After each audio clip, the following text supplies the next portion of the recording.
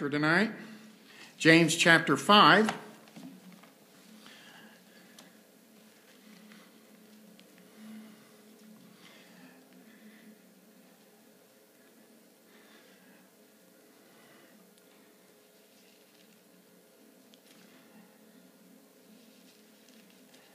The key theme of our study in James has been spiritual maturity. Uh, I don't know if you've grown, I have, uh, but I try to grow, and uh, I've gained a lot out of this book. It's a good, good book. It's very meaty, and there's a lot in it for the Christian, and uh, basically for the Christian. Helps us to mature, tells us like it is, the way we're supposed to be. Uh, in chapter one, they were to be patient in our testings, in our test that comes in each one of our lives. Chapter 2, uh, a mature Christian practices the truth. Chapter 3, a mature Christian bridles their tongue. And uh, chapter 4, we learn that a true Christian is a peacemaker and not a troublemaker. And we learned how to draw closer to God and how to worship and be closer to the Lord. Now we come to the last mark of, of spiritual maturity. Uh, a mature Christian, in this chapter, we'll find out, is prayerful in troubles. Prayerful in troubles. Uh, we all experience trouble in our lives. We all go through times of turmoil. And uh, James is centers in on, on uh, actually three different kinds of trouble he's going to be talking about, but we'll cover uh, big issues. Uh, actually, he talks about four of them. The first one that he's going to talk about will be from in verses one through nine, and that's economical troubles. Uh, economic and money matters are very important in maturity in a Christian life. Would you agree with that? They surely are. And uh, we're going to find out that James uh, was dealing with a, a, problem in the church or churches uh, with some, some rich people. You know, we may not have that problem in our church. But uh, uh, then in verses 10 through 16, James deals with physical troubles. And I think there's not anyone here tonight that cannot uh, realize that, that we are, our bodies are feeble. And as we get older, they get more feeble. Amen? So, but we all have to deal with physical ailments And uh, so James is going to uh, appoint us in on that. Then, uh, two verses, 17 and 18, uh, James will deal with national troubles. And uh, we could probably spend the rest of next year on our national troubles, but we won't. Then, the last two verses, James will be dealing with church troubles. And uh, I, I, I am thankful that we in a church, that we are in a church where we don't have too many troubles in our church. And if we do, I don't see them anyway. And uh, generally, if there's troubles in a church, everybody knows it. Everybody. So that's what uh, we're going to be looking at. One of the most searching and piercing sections of this whole letter, uh, James now launches in. Uh, in the very beginning, it's a rebuke uh, of the sins of the rich. So that's where we're going to that's where we're going to start focusing. Uh, after hearing a sermon on Psalms 52, verse 3 and 4, which the sermon was entitled Lies and Deceit, uh, a man wrote the IRS. I can't sleep knowing that I have cheated on my income tax. Enclosed is a check for $150. If I still can't sleep, I'll send the rest.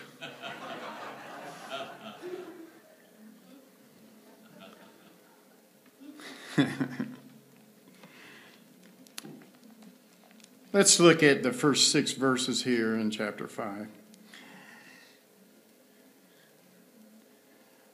It's talking about the rich oppressors rebuked here by James. Go to now, ye rich men, weep and howl for your miseries that shall come upon you. Your riches are corrupted, and your garments are moth eaten. Your gold and silver is cankered, and the rest of them shall be a witness against you and shall eat your flesh as it were fire. Ye have heaped treasure together for the last days. Behold the hire of the laborers who have reaped down your fields, which is of you kept back by fraud, crieth. And the cries of them which have reaped are entered into the ears of the Lord of the Sabaoth. Ye have lived in pleasure on the earth and have been wanton. Ye have nourished your hearts as in a day of slaughter. Ye have condemned and killed the just, and he doth not resist you. So, right off the bat, uh, James is talking about these rich men, and their riches, he says, were sinful. They were using their wealth for selfish means selfish purposes, and also were persecuting the poor in the, in the process of doing so. Uh, one of the themes that runs through James chapter 5 is, is the trouble that was going on. Uh, can you imagine in, in these days, they didn't, uh, they didn't get a monthly paycheck they didn't get a weekly paycheck. When the workers went to the field, they worked all day, and at night they were paid. And what was happening was they were hiring these, these people to come and work in the fields, and they would work them, and then at nighttime they wouldn't pay them. So the people were crying out to, to the Lord. These, these were, these were uh, uh, people, church people. Now, I don't know if I'd have cried to the Lord, I'd probably got a little more drastic than that. I'd probably uh, got four or five and we'd have went and seen somebody. But uh, that's what was happening. Uh, We'll see poor people were deprived of their wages in verse 4. People who are physic, they were being physically afflicted uh, in verses 13 through 16, and spiritually backslidden at the end of the chapter. The second theme that James uh, introduced in chapter 5 is prayer. Uh, the poor laborers cry out to God in verse 4. They cried out to the Lord of the host, Lord of the, that, that word there, Sabaoth, means uh, Lord of the armies, or the Israel armies. And so they were crying out to, they, they wanted, they actually, if the context of, of that word there, they wanted God to come and and uh, punish these guys that were doing this. So, James cites at the end of the chapter in verse 17, I think, and 18, he cites Elijah uh, as an example of one uh, who believed in prayer, as an, as an example. When you join these two things, we will arrive at our fifth maturity mark and that is of a mature Christian, we are to be prayerful in our troubles. And uh, I think sometimes we have troubles come upon us, and maybe that's the last thing that we do is pray, which it should really be the first thing that we do. Uh, the key Instead of giving up when troubles come, the mature believer turns to God in prayer and he seeks divine help from, uh, from the person uh, that we're supposed to be seeking, the one that does own the cattle on a thousand hills. The clarification here James did not say it was a sin to be rich. He's not saying that. It's not a sin to be rich, but um, it is a sin if you are taking that money and by abusing somebody else to get it. Uh, can anybody name somebody that was rich in the Bible? Abraham, very rich, wasn't he? Uh, and uh, Abraham had uh, lots of livestock and, and servants. And, uh, he had a nephew that was also rich. Remember him? And uh, but he didn't do so well with his. He wasted his and took it to a and got it. Uh, not not he wasn't the same character as Abraham was. So it's not, it's not a sin to be rich. Uh, James was concerned about the selfishness of the rich and advised them to weep and to howl in chapter or verse 1 there. James gives three reasons for his exhortation to these rich men. The first one we look at here uh, the way they got their wealth. Uh, we're going to look at the way they got their wealth in verse 4. Uh, Behold, the hire of the laborers who have reaped down your fields, which is of you kept back by fraud. They were fraudulently taken the work without paying the help.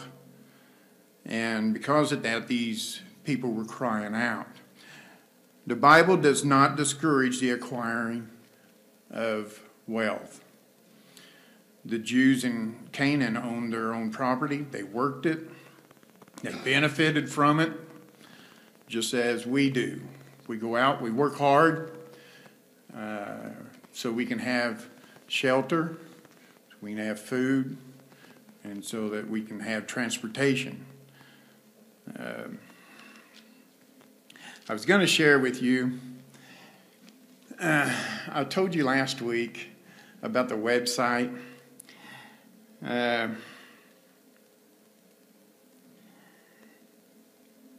I told you about Forbes magazine, and it was telling about the richest people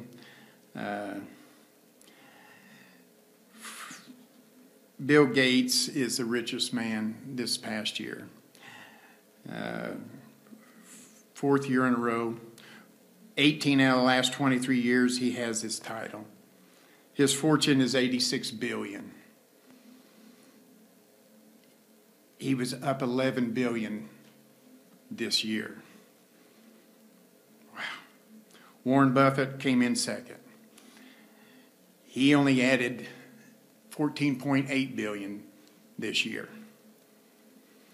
Jeff Bezos of Amazon filled the number three spot with 72.8 billion. This year he had the best of everyone. He gained 27.6 billion dollars. That's a lot of money. Now I look back here at verse 1. Go to now, ye rich men. Most of us, when we read that,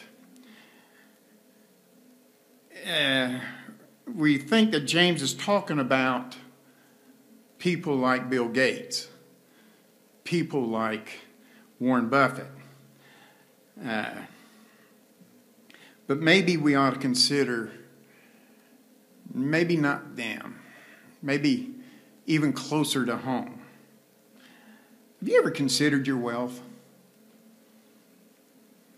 How wealthy you are? You say, brother, I'm about as poor as poor can get. I know. Uh, my mom and daddy, we grew up poor. We really did. Uh, Dad give us boys. We had one gun. My oldest brother got to shoot it, and I was a dog. I'd go in the brush and scare out the rabbit, and he'd shoot the rabbit. And that's how, seriously, I mean, that's how we grew up. And a lot of you did too. And I sure was glad when I got another brother and I moved up. it's great to get out from being the dog. but uh,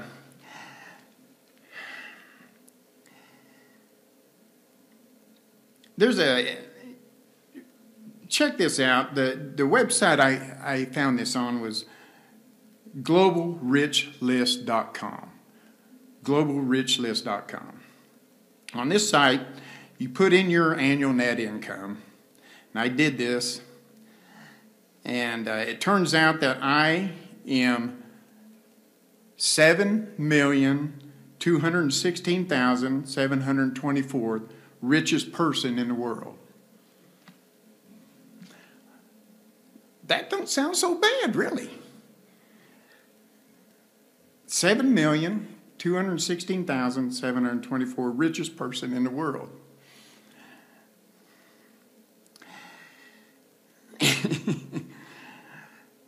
But you know what? I fall into 1%. And I don't have that. I don't even work.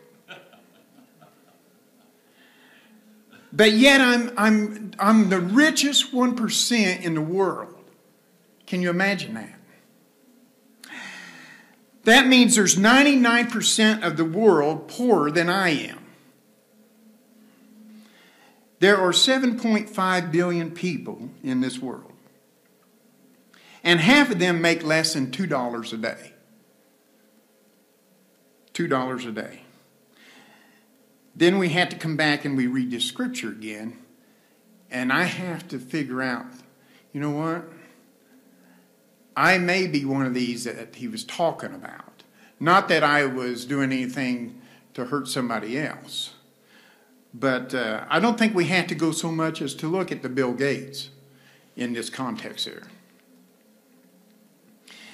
If God judges all men equally, and he is no respecter of persons, then we are among the rich of this world.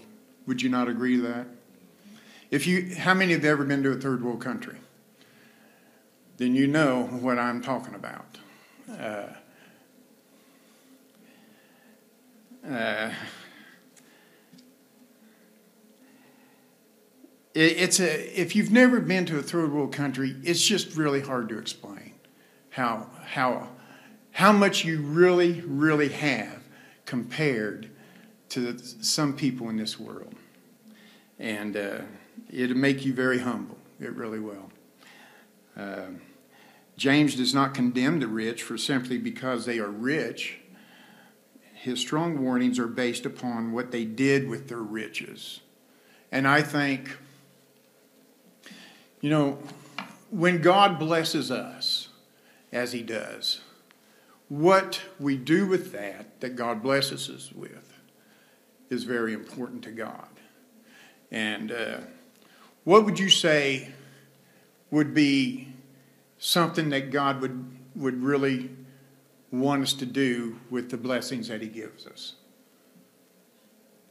Huh? What? Tithing? Yeah. Why? Does God need it? Then why do we need to tithe? Huh? Okay.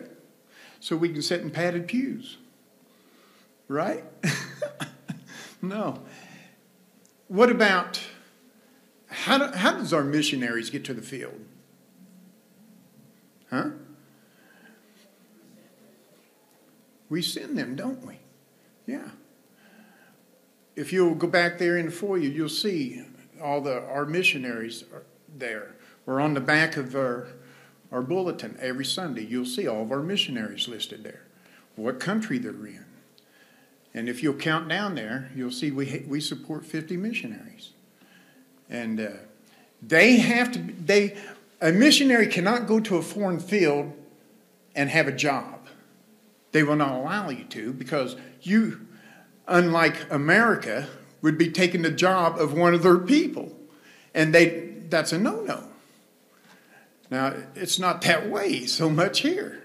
But you can't go and work. You have to, before you can even get on most foreign fields, you have to show proof that you have an income and you don't need to work in their, their country. And, uh, or you can't, you cannot, you cannot be there if you can't, if you're not self-supported. So our missionaries, I'm going to spend a little bit of time here on missions. Our missionaries are dependent upon what we do at our churches and uh, the projects that they do. The uh, just like we read today, uh, Brother Eber, they're getting ready to to do a new move, and that that has to be he he'll have to raise money for all this stuff. Uh, when you go to the foreign field, What's the first thing that you would do if you were a missionary getting off the airplane? You've never been there.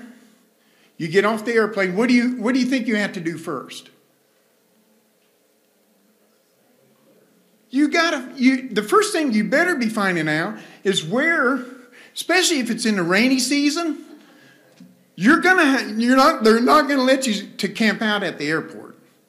Most of those airports you wouldn't want to camp out at anyway. But you got to find a place to stay. And uh, that takes money. There's one other thing that you have to do. What's that? You've got to find a way to get to a house or get to a place.